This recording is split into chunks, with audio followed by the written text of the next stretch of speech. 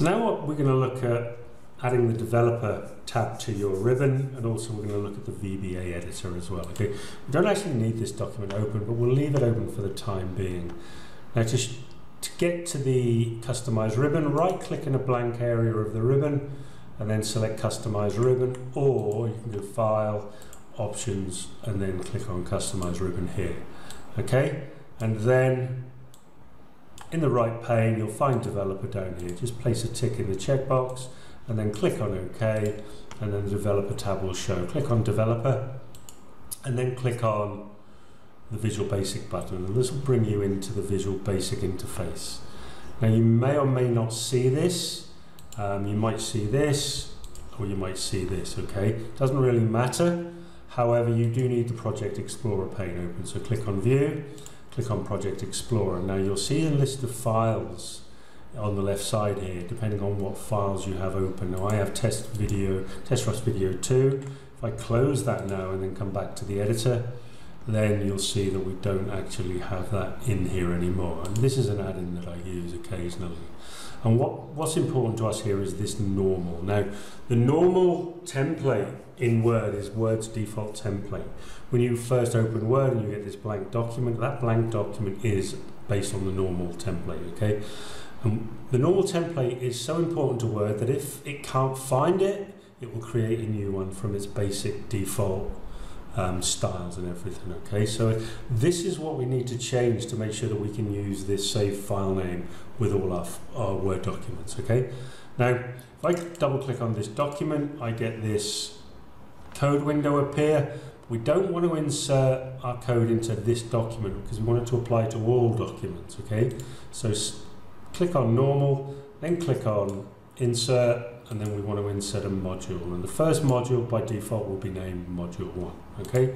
And then in the pane here is our code window. Now, you can see a save file named code.txt file, and then what you need to do is select all, copy it, control C, come back here, and then paste, okay? And if in the drop down arrow up here you click on it to drop down, you'll see we've got save new file name, show doc information panel. Show doc information panel is this one, but the, the main routine, subroutine is this one here, and this actually calls that document information panel, okay? Um, now, as I explained in an earlier video, we declare the variables, but I've commented out this particular variable here, okay? So that when I click on debug compile, we're going to get an error message. Okay, so this tells me there's something wrong with the code. However, when I remove that comment, debug compile, everything's good now. Everything's running, the code's all okay, and Word or VBA can't find anything wrong with it, which is exactly what we need. Now we need to save this to normal. Now I'm going to save Control S like this, click on the button. That's my normal dot dot m save. Now there's a chance that your normal dot dot m might be protected or something, or it won't allow you to overwrite it. So what you then need to do is save the file as normal dot one m, normal one dot dot m, or normal two, three, even with your own name. Okay, it doesn't really matter as long as you can recognize it. Normal overwrite dot dot m like that, whatever you want to call it, okay? It really, really doesn't matter. Um, as long as you can find it when, when we need to in a moment, okay?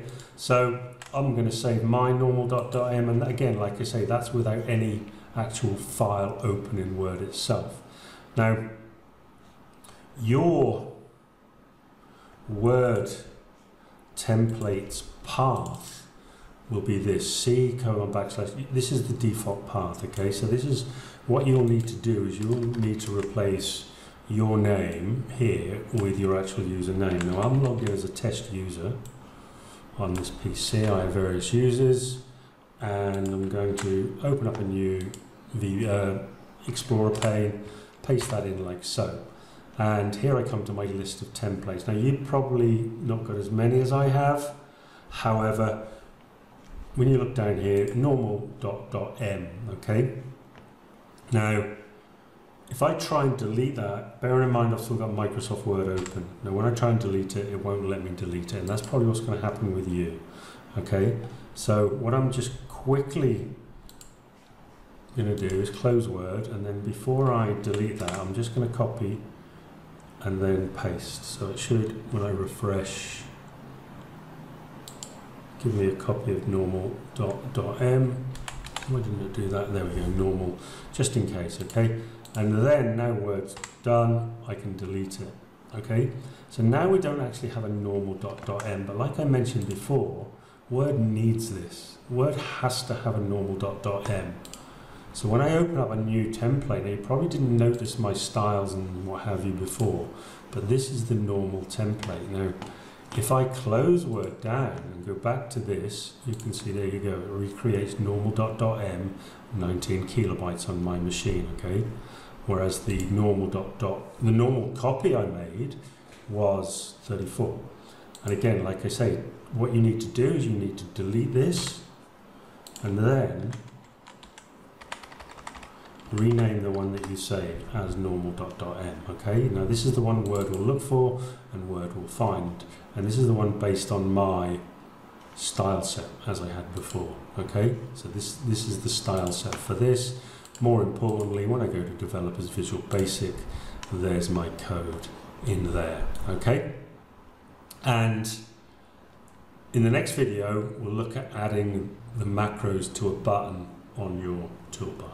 Okay?